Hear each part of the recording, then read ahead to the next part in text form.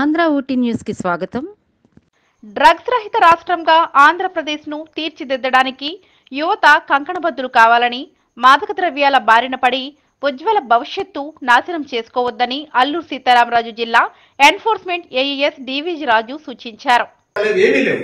కానీ మేము ఐదేసి కిలోమీటర్ పదిహేను కిలోమీటర్లు చదువుకున్నాం చదువుకున్నాం మేము. చదువుకుని ఈరోజు స్టేజ్కి వచ్చాం. కానీ మీరు ఇన్ని సౌకర్యాలు ఉన్నప్పుడు మీరు ఎంత బాగా చదవాలి చెప్పండి? చాలా బాగా చదవాలి మీకు ఎవరికైనా? పాడేరు చూపించిన ఆయన పాడేరు ఉన్నారు ఆయన. ఆయన ఐఏఎస్ ఆఫీసర్ రిటైర్ అయ్యారు మీరు అలాంటి వాళ్ళందరినీ మీ ఏజెన్సీలో మీ గ్రామాల్లో ఆదర్శంగా తీసుకుని మీరు చదువుకోవడం నేర్చుకోవాలి. మనం మంచిని మనం చూసుకోవాలి మంచిని తీసుకోవాలి కానీ మనం చెడిని చెడు చేసిన మనం తీసుకోకూడదు. అల్లూరు సీతారామరాజు జిల్లా కేంద్రం పాడేరు ప్రభుత్వ డిగ్రీ కళాశాల సెమినార్ హాల్లో స్పెషల్ ఎన్ఫోర్స్మెంట్ బ్యూరో ఆధ్వర్యంలో గురువారం మాదక ద్రవ్యాలు మూలంగా భవిష్యత్తులో జరిగే అనర్థాలపై అవగాహన కార్యక్రమం నిర్వహించారు. ఈ సందర్భంగా జిల్లా ఎన్ఫోర్స్మెంట్ ఏఈఎస్ డివిజీ రాజు మాట్లాడుతూ గిరిజన యువత తమకు తెలియకుండానే గంజాయి రవాణాలో భాగస్వాములై పెట్టుబడి జైళ్ళలో మగ్గుతున్నారని చెడు వ్యసనాలకు యువత దూరంగా ఉండి డ్రగ్స్ రహిత ఆంధ్రప్రదేశ్ దిశగా యువత అడుగులు వేయాలని పిలుపునిచ్చారు. ఈ కార్యక్రమంలో కళాశాల vice principal Rasool NSS programme అధికారి Gourishankar SEB CI Tirupati Santosh task force CI Kormarao తదితరులు పాల్గొన్నారు.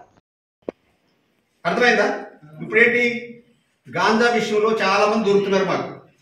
ఇప్పుడు ఇక్కడ ప్రోగ్రామ్ పెడుతుంటే ఈ రోజు తెల్లవారుజామున దిక్కు రేట్ చేస్తే మేము ఒక ఇద్దరు ముద్దాయిలు దొరికారు. వరిసేవాళ్ళు సో మన ఏజెన్సీ వాళ్ళు బతకాలు వరిసేవాళ్ళు మన ఏరియాలో గంజాయి పూర్తిగా తగ్గిపోయింది. ఇదే విధంగా కంటిన్యూ అవుతుందని మేము కూడా ఆశిస్తున్నాం. ఈ విషయంలో ప్రభుత్వం కూడా చాలా సహకరిస్తుంది. ఈ ఈ వచ్చిన నాలుగు నెలలు కూడా ఫ్రీ డ్రగ్ రాష్ట్రంగా చేయాలనే ఉద్దేశంతో మన సీఎం గారు ఒక ప్రోగ్రామ్ కండక్ట్ చేస్తున్నారు. దాని విధంగా ఆ దృష్టిలో పెట్టుకుని అవేర్నెస్ ప్రోగ్రామ్స్ కండక్ట్ చేస్తున్నాం. ప్రతి కాలేజీలోనూ కూడా. మీరు డ్రగ్స్ విషయంలో అందరికీ పూర్తిగా తెలుసో తెలీదో పదిహేను నుంచి ఇరవై సంవత్సరంలో కన్విక్షన్ పడతారు. పదిహేను నుంచి ఇరవై సంవత్సరాలు కన్విక్షన్ పడితే ఏం చేస్తాడు ఇంకా? జీవితం అంతా అక్కడ అయిపోతాడు. ఆ కేసులో దొరికితే లైఫ్ స్పాయిల్ అయిపోతుంది ఆ విధంగా ఎవరు ఇలాంటి కేసులో ఇరుక్కోవడం అలాంటి చేయకండి. ఇంతవరకు చాలా మంది మేము పట్టుకున్నాం చేసాం అన్ని జరిగినాయి. ఇప్పుడు ఇంకో కేసులో దొరికినా సరే ఆరు మాసాల వరకు వాడికి బెయిల్ అవ్వదు ఏమవ్వదు ఇప్పుడు మీరు కేసులో ఉండటం వల్ల మీరు ఎంత ఇబ్బందులు పడతారో అది అర్థం చేసుకోండి. టోటల్ మీ ఫ్యామిలీ మొత్తం బ్యాడ్ అయిపోతుంది మీ చుట్టుపక్కల ఇళ్ళలో కానీ గ్రామాలు కానీ చుట్టాల దగ్గర కానీ కంప్లీట్ బ్యాడ్ అవుతుంది పెద్ద పబ్లిసిటీ అవుతుంది. పెద్ద ఫోటో వేస్తారు పేపర్లో.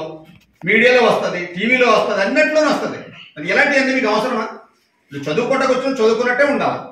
మాకు చాలామంది స్టూడెంట్స్ దొరుకుతుంటారు. వాళ్ళు ఏదో చెప్తారు షాక్ లేదు చెప్తారు. ఎవడో తీసుకురామన్నాడు సార్ నన్ను నర్సీపట్నం తెచ్చిమ్మన్నాడు బ్యాగ్ నేను అందుకు వచ్చాను లేకపోతే రానంటున్నాడు. టూ థౌజండ్ ఇస్తే అటు అది పట్టుకుని వెళ్ళిపోతాడు. అది తప్పు కదా మనం? దాంట్లో ఏముందో చూసుకోవాలి. బ్యాగ్ ఏముంది ఏంటి చూసుకుని దాని ప్రకారంగా మనం పని చేయాలో చేయకూడదని చూసుకోవాలి. ఈ విధంగా చాలా మంది స్టూడెంట్స్ కూడా బుక్ అయిపోతున్నారు.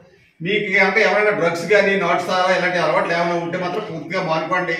మీరు మానుకున్నది కాకుండా పక్క గ్రామాల్లో మీ పక్క వాళ్ళు కూడా బాగు చేయండి. థ్యాంక్ యూ ఫర్ వాచింగ్ ఎప్పటికప్పుడు తాజా సమాచారం కోసం లైక్ చేయండి షేర్ చేయండి సబ్స్క్రైబ్ చేయడం మాత్రం మర్చిపోకండి.